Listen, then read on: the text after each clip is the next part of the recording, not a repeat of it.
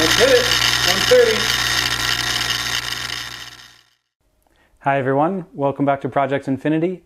I'm always trying to learn more about why plasma behaves the way it does in a fusion reactor. As you pump down from atmospheric pressure, the plasma tends to enter these characteristic discharge regimes, commonly referred to as jet mode and star mode. And I never really knew what factors were at play which determine when and why the transition between modes happen. So I read a few papers explaining the process, and today I'm going to do my best to explain the physics at play. So stay tuned to check it out.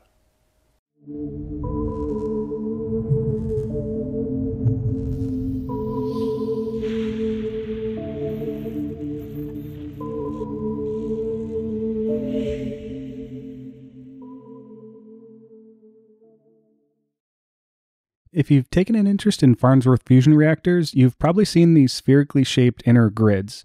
This is the grid that I built, and it's what I'll be using for the demonstration. It's not super pretty because welding tungsten wire is very difficult without special equipment, but it does function really well. So its shape allows for excellent symmetry as well as decent transparency to fast flying ions. This ultimately allows for higher ion recirculation. And if you're unfamiliar with what I mean by that, here's a quick breakdown of how the whole system works. The grid functions as the cathode, and the metal vacuum chamber acts as our anode. Via field emission, electrons are produced at the grid, and because opposites attract, they accelerate toward the chamber wall. On their way, they sometimes hit a neutral gas molecule, which strips it of an electron. The electrons continue toward the chamber wall, but the newly formed positive ions are then accelerated toward the grid. If the ion is accelerated to a sufficient velocity, it could collide with another ion with enough force to overcome the Coulomb barrier and fuse together, releasing a lot of energy in the process. An actual collision event is exceedingly rare, though, so most ions don't actually fuse together once they're accelerated toward the grid, and this fact exposes some major design limitations. Ideally, the fusor is manufactured in such a way that instead of being lost to collisions with the inner grid, the ions are electrostatically confined within a potential well then recirculate for another chance at a fusion event. So, the more we can get the ions to recirculate, the more efficient the reactor becomes. To reach this ideal environment, the fusion reactor is pumped from atmospheric pressure down to a high vacuum. And the plasma tends to enter characteristic modes or plasma regimes along the way, and this characteristic behavior of the plasma is what we'll be examining in this video. The ion trajectory through the chamber is determined mainly by the grid and chamber geometry, voltage potential, and the ion's mean free path. The mean free path is the distance an ion travels before significantly interacting with another particle and is essentially a function of the ion species and chamber pressure. These factors are what determine the distinctive plasma regimes in which the fusion reactor operates. The main discharge regimes or modes are referred to as glow mode, halo or jet mode, and star mode. Let's light up the fusor and see what they look like. Here's a quick look at my setup. I use a cross shape instead of a sphere for the chamber's outer shell. This is a bit atypical, but the concepts discussed in the video remain the same. To begin, I'll set the variac to provide 15 milliamps of current. At near atmospheric pressure, the plasma behaves like a standard cold cathode. The grid emits electrons through field emission, which results in a Townsend avalanche. So this is a high current density and low voltage discharge. Once I turn on the vacuum pump and the pressure decreases, we transition to glow discharge. This stage is always really beautiful to look at, but the pressure is still too high for fusion. The ion's mean free path remains very short, and abundant interactions with neutral background molecules cool the ions and prevent them from reaching velocities suitable for fusion. Let's keep removing those background molecules by lowering the pressure even more. Below about 1000 millitorr, things start getting really interesting. The ions become confined within electrostatic fields in the convergent geometry of the spherical grid. This causes them to form what's called a poissor, this ball of plasma you see within the grid. Our mean free path is definitely getting longer, but we still wouldn't see significant fusion in this plasma regime. And now we've reached jet mode, also known as halo mode. We see a clearly defined bugle jet protruding from the poissor. Never thought I'd say those words together.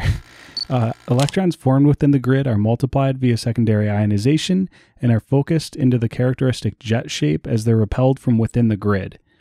In this mode, the mean free path is lengthening, which allows ions to accelerate to higher velocities.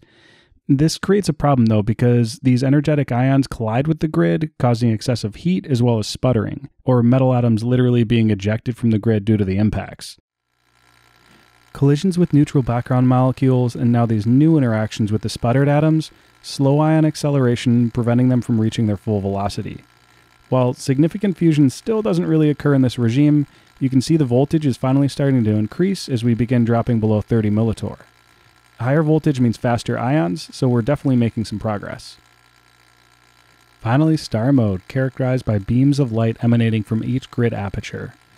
Here, the mean free path has met or exceeded the length of the fusion chamber, which allows for maximum ion velocity as well as ion recirculation. Due to ion recirculation through the potential well, ions have multiple chances of colliding with each other, maximizing the chance of fusion events. The gaps in the grid focus the ions into narrow beams, which reduces collisional loss to the grid wires. Once I pass about 10,000 volts, X rays produced in the chamber have enough energy to exit through the viewing window. You can actually hear my Geiger counter roaring as the voltage increases. But the gas used in this demonstration is only air, not deuterium, so I don't have to worry about neutron radiation, and a lead barrier is sufficient at keeping me safe. Star mode solves a lot of the problems realized in the previous plasma regimes. The reality of things, though, is that the ion path is still not perfect. And while this plasma regime is much more efficient than the others, there's still tremendous loss due to all the same suspects as before. Grid heating, plasma asymmetry, and interactions with neutral particles continue to present major hurdles, preventing this type of reactor design from really taking off. Unfortunately, my setup doesn't allow for the full expression of star mode due to pressure and voltage limitations. Following Paschen's curve, as we drop the pressure, the voltage will continue to increase until we meet the limit of my power supply. You can also see the star-shaped plasma is not perfectly even because as mentioned earlier, the outer chamber of my vacuum vessel is a cross shape instead of a sphere.